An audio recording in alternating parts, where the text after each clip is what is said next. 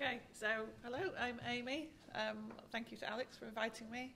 Um, thank you to my baby for not popping out early so that I could come today.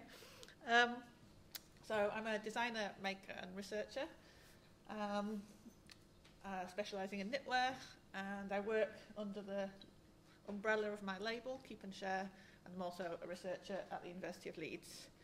Um, I'm going to talk today about uh, my knitting practice and the role of numbers within that, really. Um, so yeah, maths and number patterns in my knitting practice. Uh, and so that relates to me creating fabrics and garments. And also, um, I'll talk about a specific uh, challenge that I addressed in my PhD research that was about changing gauge in knitwear, which I'll try and explain in terms that make sense to other people and to me. That's the challenge. Um, it's quite nice to have the opportunity to talk about numbers and maths. Um, and as I was putting this presentation together yesterday, I have to say I was working on a just-in-time principle because I didn't want to make a wasted presentation. Um, I realised that if you asked me what my practice about, I would normally say that it was about um, emotions and conversations and relationships between people. I wouldn't usually say that it was about numbers and maths and patterns and things like that. But the two things are totally both there. I think it's just I tend not to find people who are interested in listening to the numbers bit. Um, and so this is um, my knitting circle, which I take to um, music festivals in the summer uh, where people sit and knit, and all the tags are little fragments of stories that people leave after they've sat and knitted for a while.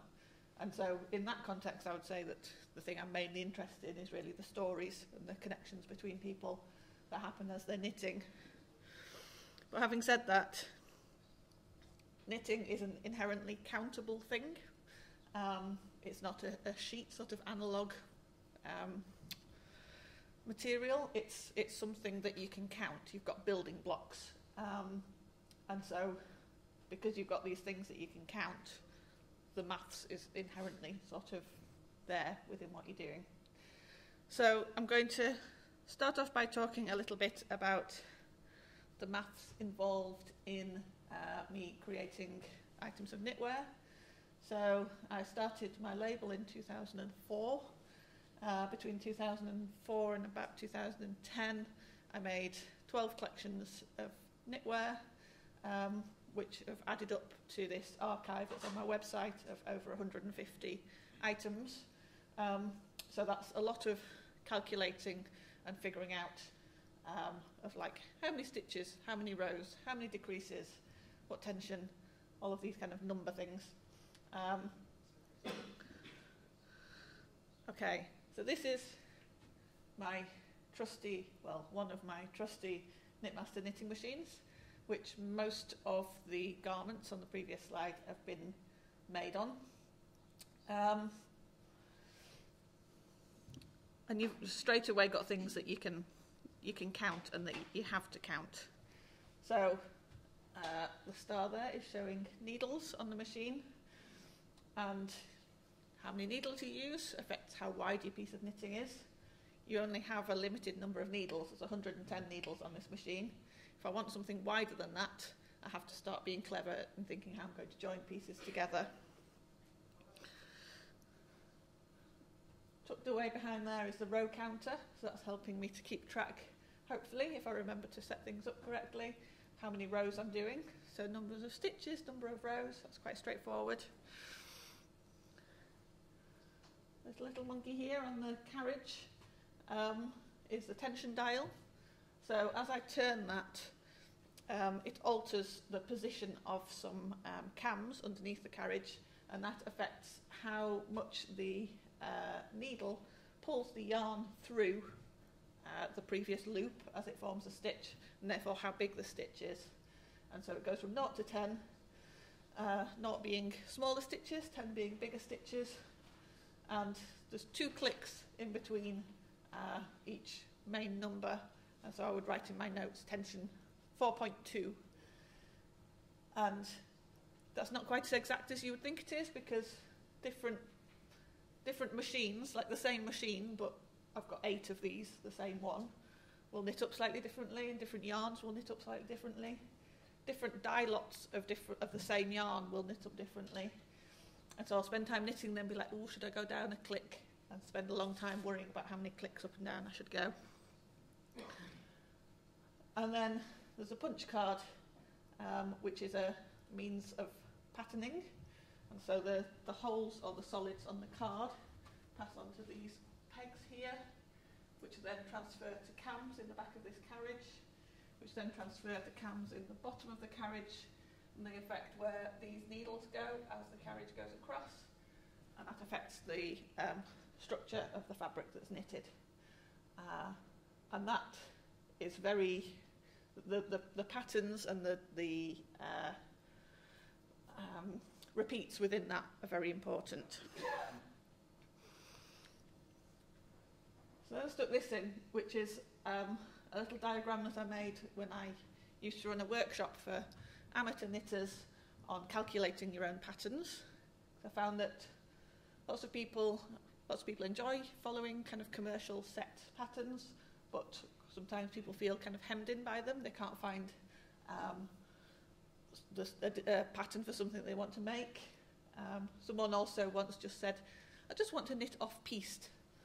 Um, so I'd get people coming that wanted to knit off piste. Um, someone else just said, I, don't, I just don't like being bossed about, um, which I quite liked. So kind of making your own pattern is uh, a way of breaking out a little bit um, as a knitter. And so this was my sort of trying to uh, guide people through the process of how they might uh, go about doing this. And so the two bits that you need is you need to know what shape of thing you're trying to knit. Um, and although garments look curved, knitted garments look curved, they're always straight lines. Um, and so any shape that you want to knit, I would break down into rectangles and triangles. And then you need to know what you're trying to knit that with, so what fabric. Um, and for the fabric that you're trying to knit, I always call these the magic numbers um, of how many rows per centimetre and how many stitches per centimetre. And so you've got those two elements, and they come together into kind of calculating the pattern, converting it into some instructions. And I suppose the important bit here is that I found myself talking a lot about maths logic and knitting logic. So there are computer programs you can use which will you can put in a shape and you can tell it the, the gauge of your fabric, so how many rows and stitches per centimetre, and it'll give you this kind of perfect looking uh, diagram of what you should knit. But it's often awful to knit because the computer program only knows maths logic. It doesn't have the tacit knowledge that a knitter has. And so actually the calculation bit isn't that complicated. So when I was teaching this workshop, I would be encouraging knitters to use their knowledge of going, oh, decreasing once every three rows, that's not going to be very, oh, oh, I don't like that. And sort of using that knowledge to apply and doing what I would always, in a very formal sense, call jiggery pokery, of um, doing jiggery pokery with your, your numbers that come out of the calculation to make it into something that's nice to knit. So I think that comes out in the rest of the things I'm going to say is I'm always trying to balance up maths logic and knitting logic and not just blindly following the numbers that you might kind of calculate. Um, so one element of this is if you want a patterned fabric, is using the punch card, which is this really elegant, um, I think, uh, means of programming. It's binary, you've got a hole or you haven't got a hole. Um, and on the machine that I like to use, it has a 12 stitch punch card. So your repeat can only be 12 stitches wide, or it could be something within that. So it could be two, three, four, six stitches wide, and it would be repeated across the, across the card. The cards are usually 60, 60 rows long, and so it has to be something that, a pattern that divides into that. You can see on this one that I've shortened it, uh, so that would end up being uh, like 48 rows long. So you can shorten it and work with the multiples within that. So the repeat within this is probably 24 rows. Um, and so, like 12 and a, a, a, a normal machine, so that's a chunky machine that I use, a normal machine has a 24 stitch punch card. That's even more divisible. It's like, oh, 24, what a beautiful number that, that has all of these um, factors within it that you can divide into. I've got another machine that falls between the two, which has an 18 stitch punch card, which is rubbish. And there's no wonder that that machine went out of production very quickly because you just can't fit that much into an 18 stitch punch card. It's really frustrating. Um, and so you might dream up a pattern that you want to knit, but it needs to divide into those uh, multiples. And then as you're placing that pattern onto a garment, you need to think where you want it to fall. Um, so because this is quite a big repeat, it really mattered kind of, that really affected the, the width of the garment because I wanted my diamonds to match up neatly at the sides as well. The other thing to say about punch cards is when I first started, it was like a mystery that I would take a punch card and be like, I don't know how this is going to turn out, and I would just try and knit it and see what happened. And then the more I worked with them, the more I realised that I could see, I could read the punch card and know what it would do without knitting it. Um, yeah, and so it was kind of that, like, the more I worked with it, the more the knowledge kind of uh, seeped into my brain. Okay, so this is another um, example of the, the calculating. So there's the punch card bit. There's also the thinking about making the shape of the garment. So this is the rectangles and triangles thing. Um, I photographed one of the less bonkers ones of my pages and notebooks. Um, quite often they're all written from all different directions. Um, so I have the notes for everything I've ever, ever designed. Um, sometimes if I go back to try and make one, I have to sort of try and step into what I was thinking at the time that I was doing it, like 10 years ago or whatever. Um, and so I'll be thinking about uh, the shape that I need to make, and if I need to decrease to make this triangle. Sometimes the rates of decrease will be different at one side from the other, um, and you have to really get into the rhythm. If you're decreasing once every row on this side, once every two rows on this side, it's, all, it's almost like a dance. That's good. Um, or every two rows and every six rows, and you have to really like keep the multiples going in your head as you're going along. Um, so that's all the kind of number, uh, implicit number stuff in that designing and making all of those garments. After quite a lot of years of doing this kind of thing, um, I started to want to make a different kind of work uh, that was more exploratory, less commercial, more exploratory, and more like things for exhibition, uh, I suppose. Um, and that involved a technique that I developed called stitch hacking, which I called stitch hacking, uh, which is about taking an existing piece of knitwear, opening up the fabric, and starting to ladder down each column of stitches. That's the magical thing about knitting, is that you can mess with it after it's been made. And so in this, I'm teach, treating each stitch as a, like a little unit of possibilities that I can mess with and I can reconfigure. So this was a plain piece of plain knitting. Um, and I opened it up and laddered down and reformed these stitches. And so I suppose that's kind of a kind of yeah, it's a, a kind of hacking, seeing these stitches as something that can be messed with. Um, and the counting within this becomes very important because as I'm laddering from here all the way down this column to here, I have to then know how many stitches, three from the back, two from the front, five from the back, five from the front, three. And if you get out by one, it's really annoying. And if you're a perfectionist, you have to go back and fix it. Um, that went on to a different level with this. So this was a found cardigan. Um, I hacked this bit, so I hacked in my name and the date. So previously this section of the cardigan was the same as that. And so I wanted to see if I could reconfigure these stitches. But because it had already been knitted, there was a certain amount of blue yarn and a certain amount of white yarn within each row. So this bit is me working out how many units of each colour there were in each row. And then this is me trying to work out how I could use up the same number of units to write the thing that I wanted to write um, while it, uh, keeping it legible. And I think I think it worked out. Um, it's one of those crazy things that you do, and then you step back and think, I don't know, quite know how I did that. Um, okay, so that. Uh, okay, so the stitch hacking was the, the start of something really, um, where I started thinking about how I could use my design and making practice to um, think about ways of reworking existing garments rather than always making new ones.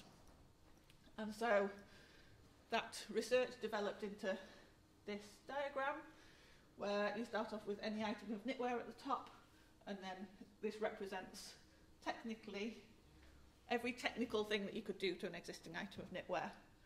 Obviously, each one has countless aesthetic variations, um, but in principle, how you could open up and mess with those stitches and the steps that are involved in them. I'll test you on this later. Um, and so, a bit, a, a, thing that emerged in doing that was, um, well, for one thing, I wanted it to apply to all of the knitwear in our wardrobes, not just kind of hand knitted things. And so we wear a lot of finer gauge, mass produced, kind of um, industrially produced knitwear now, um, which is too fine for any sane person to want to hand knit. Um, and so, in order to do that, you need to move from these teeny tiny stitches produced by quite a fine gauge knitting machine to some junkier ones that um, a sane person would knit. And the principal time when you would be doing that is if you were replacing a section of knitwear. So this just represents the process that I'm on about.